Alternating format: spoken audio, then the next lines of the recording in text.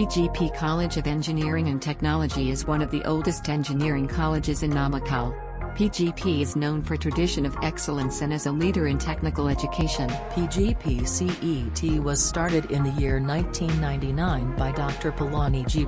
Sami, chairman of PGP Group. The Department of Tripoli was established in 2002 with the approval of Anna University, Chennai having known for university ranks and placement offers, the alumnus of Tripoli worked in various leading companies around the globe. The department features include, lively classrooms and friendly environments and located in the Green Campus. The department academic system includes advanced laboratories, guest lectures, value-added programs, well-experienced faculty members to provide outcome-based learning. The laboratories function with improved modernized technology offering the practical exposures to each student. Various activities like guest lectures, seminars, industrial interactions, industrial visits are organized twice every semester. Alumni meets and faculty development training programs are often conducted. Value-added courses like hardware design, Embedded systems and MATLAB are conducted to improve the skills of the students. Every year the students of electrical and electronics engineering are given placement training both internal and external modes so as to offer them various job opportunities. The department has signed with various professional societies like EnSAv Club,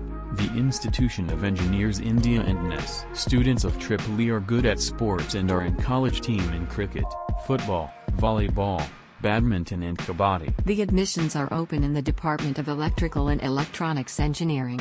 For admission-related queries, contact 989-483-8123. Or send us an email to engineering at the. For more information, log on to www.pgpcet.ac.in.